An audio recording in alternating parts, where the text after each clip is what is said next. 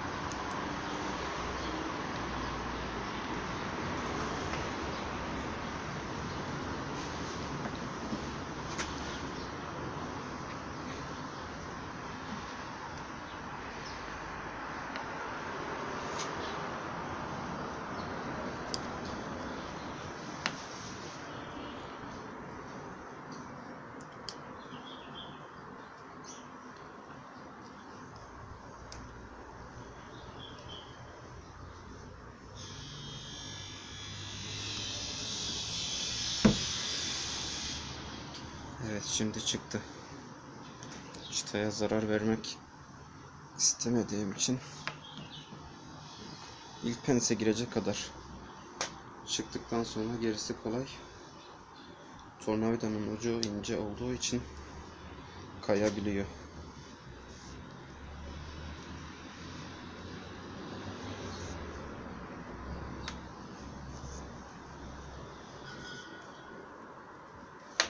Arada bezi de değiştiriyoruz çünkü bez yırtılıyor.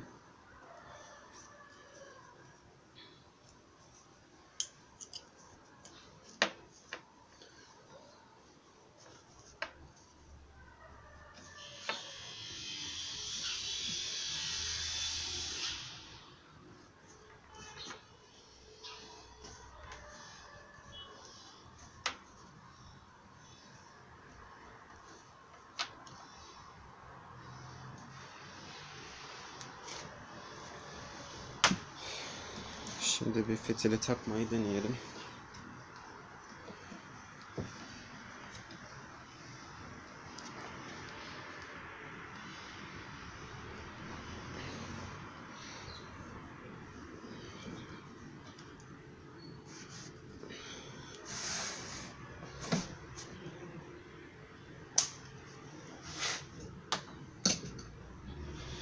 Eski fitil çıktı. Yenisi de takılırsa hiç uğraştırmadan iyi olur. Böyle güzel bir ısıtalım. Bulaşık ilacı da sürebilirsiniz.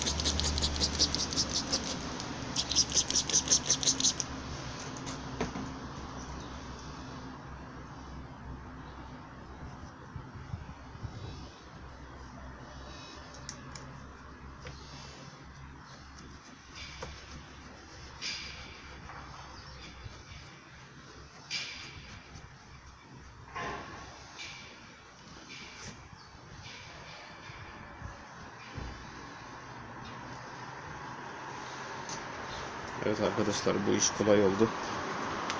İnsan yapa yapa demek ki tecrübe kazanıyor. Şu kadar uzunluk kaldı.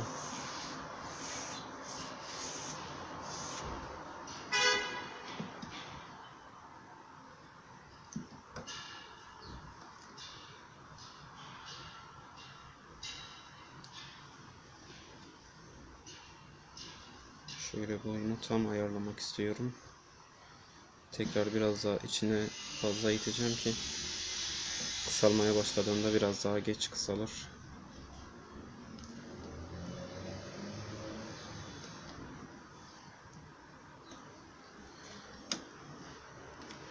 Şu şekilde iyi.